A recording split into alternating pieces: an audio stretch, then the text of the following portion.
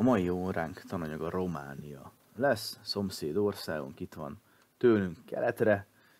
Nem biztos, hogy feltétlenül a legjobb viszonyunk van ebben az országgal kapcsolatban, de ennek nyilván történelmi hagyományai van. Nézzük az általános adatait Romániának, legalábbis a tankönyvünk szerinti aktuálisnak mondható adatokat. A hivatalos neve Román Köztársaság, ezen nincs mit vitatkozni, tehát nem királyság, köztársaság, eleve királyság nagyon régen volt, most már egy jó ideje. Köztársaságként tevékenykedik Románia. A területe 238 ezer négyzetkilométer, ami annyit jelent, hogy nagyjából két és fél szerese Magyarországénak. A népessége ellenben több mint kétszerese Magyarországnak szintén, ugye majd hanem 22 millió fő Románia lakossága. A GDP-je valamivel szerencsére még kevesebb, mint a miénk, tehát még nem előztek le minket, de sajnos közel állnak hozzá. 19.400 dollár, tehát még azért egy 5000 dollárra megelőzzük per fő, de hát ugye a GDP is egy olyan statisztika, ami annyi, amennyit éppen behazudnak. A hivatalos nyelv a román, a pénz pedig a lej. Ugye amikor voltok kint ezen a határtalanul pályázaton, akkor ezzel azért füzettetek a lejjel. A lej is egy érdekes pénz, mert amikor megreformálták a lejt, mert túl keveset ért, akkor áthúztak a két nullát. Nem vonták be egyből a pénzt, hanem mindenki áthúzta a saját pénzén egy filctollal azt a két nullát, és akkor már is működőképes volt a dolog, aztán szép lassan kicserélték őket. Ugye emlékszünk, hogy Szlovénia nem így, tárt, nem így tért át az euróra annak idején. A fővárosa pedig Bukarest, és 2007 óta az Európai Unió tagja az ország természetesen. Hát és íme a lej, a régi fajta, ugye ezt úgy reformálták meg, hogy áthúztak két nullát. Az ezer lejesből tíz lejes lett hirtelen. Mostán olyan 60 forint körül van egy lej egyébként. Íme Románia térképe, amely hát nekünk azért fájó, hiszen egy jó része ennek a királyi Magyarországhoz tartozott, ugye Erdély és a Kárpátok vonulatai. Hát mára már, most már majdnem száz éve Romániához tartozik ez a terület, egy kis megszakítás ott a második világháborúban. Melyen részei vannak? Először is van a Mold, moldovai román fejedelemség területe, ugye Moldova, ma már ugye nem fejedelemség nyilvánvalóan, ez egy löszös ö, dombvidék, síkvidék, aztán van a Duna mentén a Havasalföld, ugye emlékszünk, hogy Hunyadi család például innen származott erről a területről, és ahogy ők hívják, van a Kárpátokon túli terület, amit ők egyszerűen Transzilvániának hívnak, de mi nevezzük azért magyar nevén Erdélynek. Ide tartozik egyébként Transzilvániának veszünk, ide tartozik a Kárpátok vonulata is. Itt délen található a Román Alföld, a Duna mentén, és hát van ugye a Dunának még a, a delta torkolat. Hát íme a részek, amikről beszéltünk, Erdély és a Kárpátok, ezt nevezik ők Transzilvániának, ez egy ilyen medence terület, kisebb hegyvidékekkel, nagyobb hegyvidékekkel. Aztán van a havasalföldi terület, a Duna által feltöltött sík terület elsősorban Dunai hordalékkal töltődött fel. Moldova, lösszel borított dombvidék, nem keverendő össze Moldvával, egy mellette lévő kis ország, amely Európa legszegényebb országa egyébként. Az éghajlata a Kárpátoktól a száraz kontinentális, hiszen észak-keletől száraz légtömegek tudnak betörni, a maga a Kárpát-medence pedig úgy, hát jóval csapadékosabb, de az is száraz kontinentális jellegű terület. Legnagyobb folyó a Duna, amely sokáig határfolyó, mind a szerbekkel, mind pedig a bolgárokkal, csak a vége felé fordul északnak és hatol be jobban. Romániában viszont Dunadelta az Romániában található. Hát íme egy-két tájkép a Kárpátokról és a, hát most már román táj ez talán a Bihar-hegység így elnézése. Aztán Moldova, ugye azt mondtuk, egy löszös dombvidékről beszélünk, tökéletesen látszik, román, gyönyörű szép épít, építészet. Román a földön egy görög-keleti templom, és hát maga a Duna. Ugye két nagyon fontos része van a Dunának Romániában, az egyik a Vaskapu, amelyet vásárhelyi, illetve Széchenyi tervei alapján, vagy meccénás kodásával alakítanak meg ugye hajózhatóvá. Hajózható volt előtte is, csak kellett hozzá révész. Az Aranyember című irodalmi műberről remek dolgokat lehet elolvasni, mit csinált itt egy révész. Ö, aztán a 19. század második felében kirobbantják a sziklákat, és innentől fogva hajózhatóvá válik a vaskapu. A másik a Duna Delta, ugye a Dunának a delta torkolata. Ezek közül az ágak közül egyébként csak egyetlen egy, ami igazából hajózható.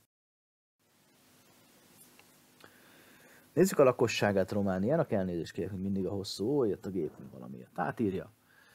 90%-a román származású, akkor mondhatnánk, hogy 10% meg mi a fene, hát nem teljesen.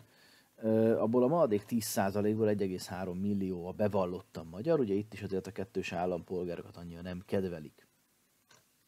Ugye kik a magyarok? Hát a székelyek, Székelyföld területén élnek, ők azok, akik nem feltétlenül magyarnak, hanem székelynek vallják magukat. Aztán természetesen a határvidék mentén ugye ott élnek a Párciumban a magyarok jellemzően.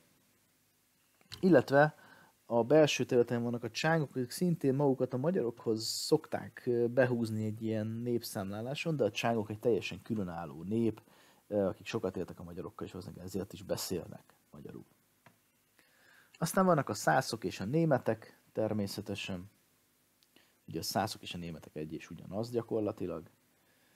A románok viszont az elmúlt hát 70 évben tettek azért, hogy lehetőleg ne legyen egyben nagy nemzetiség. Elkezdték széttelepíteni őket szervezetten a magyarokat.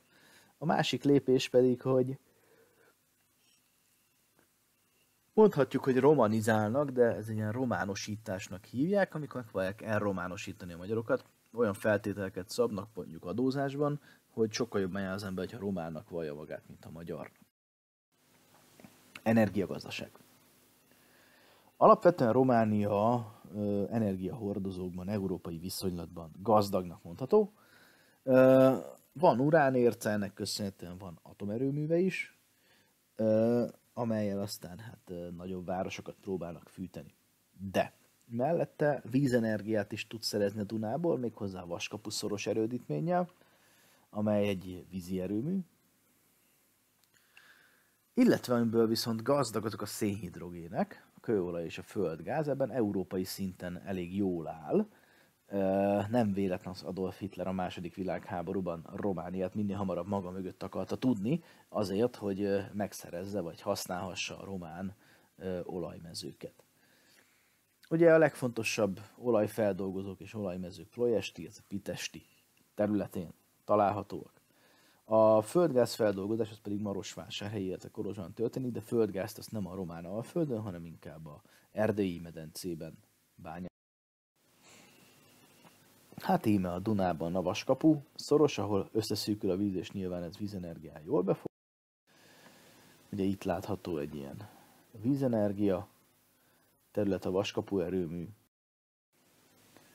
Hát ez pedig már ugye a Ploiesti olajfeldolgozó, és láttam, nem egy román cég áll a központjában, hanem a Luk nevű cég, ezt talán apukáik ismerik, hiszen van ilyen benzinkút meg a Veszprémben.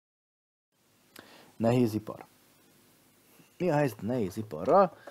Alapvetően a bányászat az elég sokrétű, főleg azért, mert a magyaroktól megszerezték az arany, illetve ezüst bányákat, amiből meg is próbálják kibányászni az aranyat. Hozzá kell tennem, hogy ezt a bányászatot már nem román cégek, hanem inkább amerikaiak követik el.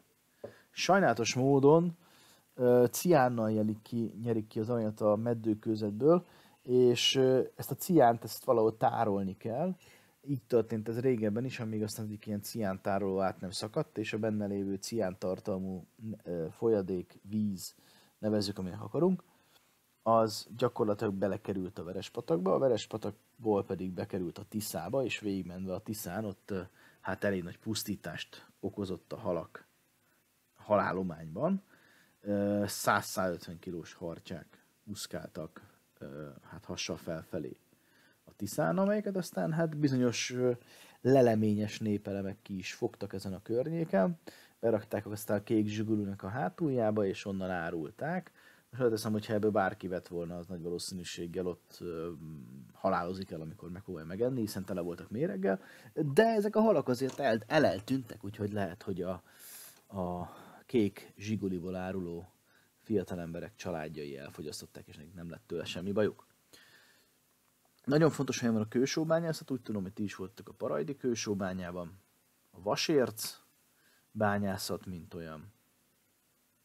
színes bányászat, a gépgyártás, az autógyártás, ugye van saját román automárka, ez pedig a Dacia.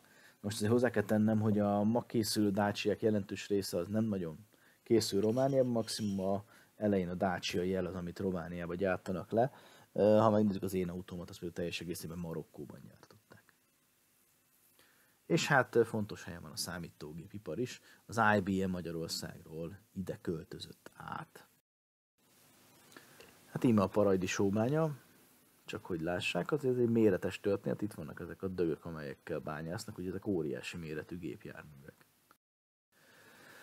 Ez pedig a sziány szennyezés, cián szennyezésnek a, a mérték. Ugye látik, hogy Szamos folyón volt a legmagasabb, aztán szépen onnan is csökkent, majd átment a Tiszára, és hát minél messzebb voltunk a fertőzést, annál jobban higult, és annál kevésbé puszt.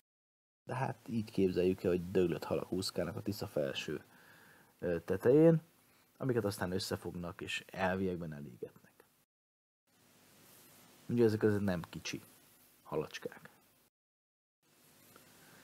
És hát íme egy régi Dacia, amelynek hogy az a titka, hogyha megvette valaki a szalomban, és hozzájutott ez a luxusautó, akkor bevitte az első autószervizbe, akik szétszették és újra összerakták, mert a románok mindig kihagytak belőle valamit. És hát íme a román gépkocsi gyártás gyártóhajója, vagy lászlóshajó a Dacia-nak, ugye a Dacia Duster nevű terepjáró, amely hát azt mondják, hogy egy igen-igen komoly terepjáró, amely a vadászok szívesen mennek például az erdőbe vadászni, mert nem sajnálják őket, nem úgy, mint mondjuk a Nissan pickupjukat. Könnyűiparra Romániának, óriási erdőségekről beszélünk, nagyon jelentős faiparról természetesen.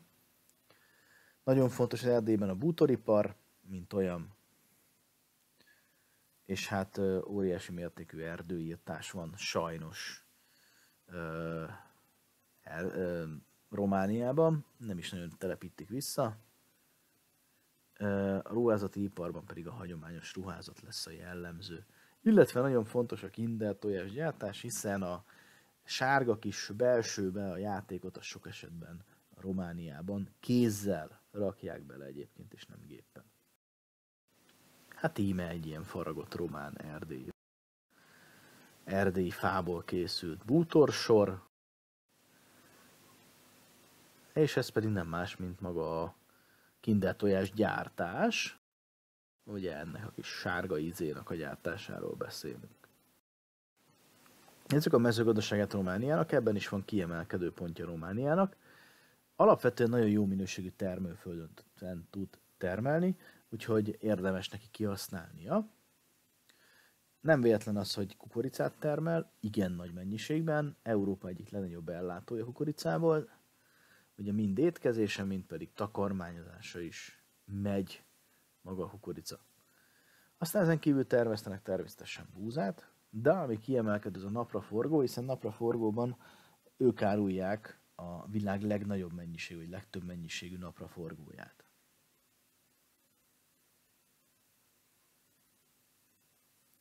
És hát beindult természetesen Románia, beindult a szőlő és bor gazdálkodás is. Ezen kívül természetesen korai zöldségeket, primőr zöldségeket is termel. És hát íme az export cégek, azért látszik, hogy kukorica igen kimagaslóan vezet ebbe a történetbe, hát de azért vannak más cégek is. Ez egy sokat mondó kép, ahogy éppen napraforgók között megy az út. Ugye a Tour de France-t is ilyen képekkel szokták fotózni.